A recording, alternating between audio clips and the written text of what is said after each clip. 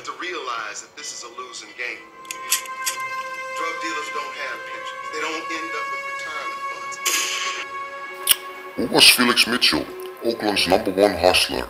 Felix Wayne Mitchell Jr. was a drug lord from Oakland, California and leader of the 69 Mob, criminal organization which operated throughout California and into the Midwest.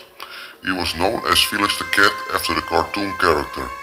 His drug businesses was incredibly successful and it was estimated that Mitchell was earning anywhere between $400,000 and $1 million per month with his drug wealth. Felix Mitchell lived lavishly, throwing parties, buying expensive cars and purchasing fancy clothing. Additionally, he shared his income with local youth and community programs. Consequently, Mitchell quickly became a local folk hero. Mitchell was born in Oakland and lived in the 69th Avenue San Antonio Village Housing Project. After dropping out of high school, Mitchell created a criminal organization called My Other Brother or 69 Mob aka Mob connected with the LA kingpin Tutti Reese. He made a business complex in the Bay Area, Los Angeles and Detroit. For more than a decade, Mitchell battled competition from Mickey Mouse crime family and the Funky Town USA gang to gain total control of the heroin market before 1984-1985 and the widespread practice of the freebasing cocaine, heroin use was more common. It estimated that Mitchell brought as much as $5 million annually.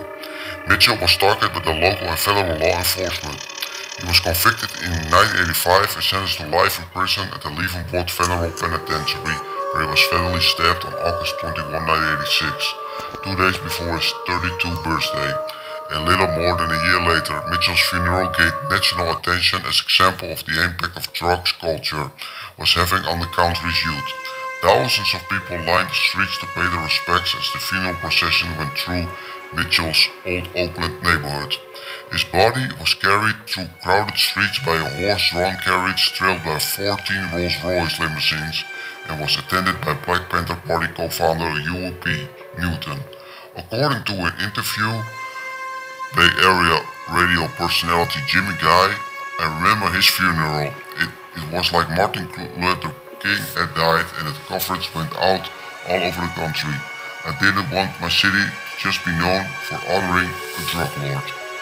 The service received news coverage internationally. Onlookers lined the streets to watch the procession. The procession began at Mitchell's former residence, the San Antonio Village, and ended at the Star Bethel Baptist Church at the San Pablo and Stanford Avenues in Oakland. Many civic leaders and citizens were appalled that the service were allowed to take place at all.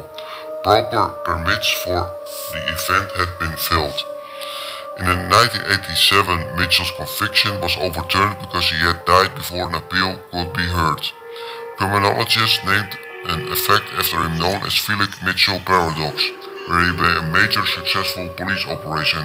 Like the arrest of Mitchell, crime and violence both went up instead of down. As one might expect, it is true that Felix had such monopoly power in parts of Oakland that he controlled pricing and policed the finance of smaller gangs. When he was arrested, it left a power vacuum and the smaller gangs started both price wars and shootings wars to fill the void. Mitchell was estimated to have a net worth of $50 million. He had made his fortune through drug trafficking and money laundering.